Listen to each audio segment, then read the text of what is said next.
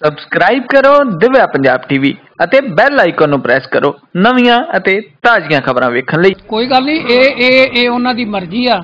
ਜੇ ਉਹ ਇਹ ਸਮਝਦੇ ਆ ਕਿ ਅਸੀਂ ਅਹ, ਅਕਾਲੀ ਦਲ ਚ ਹੋਂਦ ਨਹੀਂ ਰੱਖਣੀ ਮੈਂ ਉਹਨਾਂ ਕਰਕੇ ਅਕਾਲੀ ਨਹੀਂ। ਜਿਹੜੇ ਕੱਢਣ ਵਾਲੇ ਆ ਮੈਂ ਅਕਾਲੀ ਆ ਅਕਾਲੀ ਰਹੂੰਗਾ ਹਰ ਮੇਰਾ ਰੋਮ ਰੋਮ ਅਕਾਲੀ ਦਲ ਚ ਆ। ਤੇ ਜਿੰਨਾ ਚਿਰ ਮੇਰੇ ਚ ਸਵਾਸ ਨੇ ਉਹਨਾਂ ਚਿਰ ਮੈਂ ਅਕਾਲੀ ਦਲ ਚ ਰਹੂੰਗਾ। ਇਹ ਚੀਮਾ ਤਾਂ ਮੇਰਾ ਹੀ ਚੇਲਾ ਆ। ਇਹ ਚੀਮਾ ਕੌਣ ਆ ਮੈਨੂੰ ਪਾਰਟੀ ਚੋਂ ਕੱਢਣ ਵਾਲਾ? ਇਹ ਸੁ- ਸੁਖਬੀਰ ਨੂੰ ਬਣਾਉਣ ਵਾਲੇ ਅਸੀਂ ਆ। ਇਹ ਕੌਣ ਆ ਸਾਨੂੰ ਪਾਰਟੀ ਚੋਂ ਕੱਢਣ ਵਾਲੇ?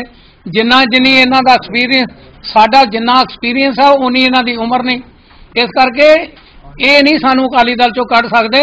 ਇੱਕ ਵਕਤ ਆਏਗਾ, ਲੋਕ ਇਹਨਾਂ ਨੂੰ ਅਕਾਲੀ ਦਲ ਚੋਂ ਕੱਢਣਗੇ। ਕਿਉਂਕਿ ਅਸੀਂ ਜਿਹੜਾ ਮਿਸ਼ਨ ਲੈ ਕੇ ਚੱਲੇ ਆ, ਉਹ ਸਾਡਾ ਮਿਸ਼ਨ ਠੀਕ ਆ। ਸਾਡਾ ਅਕਾਲੀ ਦਲ ਆ, ਅਸੀਂ ਅਕਾਲੀ ਦਲ ਨੂੰ ਹੋਰ ਮਜ਼ਬੂਤ ਕਰਾਂਗੇ। ਔਰ ਚੰਗੇ ਬੰਦੇ ਅਕਾਲੀ ਦਲ ਚ ਗਾੜੀ ਲੈ ਕੇ ਆਵਾਂਗੇ ਤੇ ਜਿਨ੍ਹਾਂ ਦੀ ਵਜ੍ਹਾ ਕਰਕੇ ਅਕਾਲੀ ਦਲ ਦਾ ਇਹ ਹਸ਼ਰ ਹੋਇਆ ਉਹਨਾਂ ਨੂੰ ਅਕਾਲੀ ਦਲ ਚੋਂ ਕੱਢਾਂਗੇ। ਤੁਸੀਂ ਉਹ ਨਵੀਂ ਪਾਰਟੀ ਚ ਬਣਾਓਗੇ ਜਾਂ ਸ਼ਾਮਲ ਕਿਸੇ ਪਾਰਟੀ ਚ ਤੁਹਾਨੂੰ ਬਰਖਾਸਤ ਕਰ ਦੇਣਾ ਇਹੋ ਹੀ ਪਾਰਟੀ ਸਾਡੀ ਪਾਰਟੀ ਆ। ਉਹਨਾਂ ਦੇ ਕਹਿਣ ਨਾਲ ਹੀ ਪਾਰਟੀ ਤੋਂ ਲਾਂਭੇ ਨਹੀਂ ਹੋਏ। ਸਿੰਘਾ ਸਾਹਿਬ ਜਿਸ ਤਰ੍ਹਾਂ ਤੁਸੀਂ ਕਹਿੰਦੇ ਹੋ ਵੀ ਇਹਨਾਂ ਨੂੰ ਅਕਾਲ ਤਖਤ ਸਾਹਿਬ ਤੋਂ ਤੁਸੀਂ ਮੰਗ ਕਰੋਗੇ ਲੈਟਰ ਦਿਓਗੇ ਇਹਨਾਂ ਦੇ ਖਿਲਾਫ ਕਾਰਵਾਈ ਕੀਤੀ ਜਾਵੇ ਜੋ ਕੁਛ ਇਹਨਾਂ ਪਿੱਛੇ ਕੀਤਾ। ਬਿਲਕੁਲ ਜੇ ਇਹਨਾਂ ਨੇ ਕੋਈ ਗੁਨਾਹ ਕੀਤਾ ਸਾਡੇ ਨੋਟਿਸ ਵਿੱਚ ਆਇਆ ਜ਼ਰੂਰ ਅਕਾਲ ਤਖਤ ਸਾਹਿਬ ਜਾਵਾਂਗੇ। ਨਹੀਂ ਜਿਹੜੇ ਬਰਗਾੜੀ ਕਾਂਡ ਦੇ ਵਿੱਚ ਇਹਨਾਂ ਦੇ ਹੱਥ ਆ ਰਹੇ ਦੂਸਰੇ ਬੇਅਦਬੀਆਂ 'ਚ ਇਹਨਾਂ ਦੇ ਹੱਥ ਆ ਰਹੇ ਜਦੋਂ ਉਹਦਾ ਕੋਈ ਫੈਸਲਾ ਆਉਂਦਾ ਫਿਰ ਇਹਦੇ ਤੇ ਵਿਚਾਰ ਕਰਾਂਗੇ। Thank you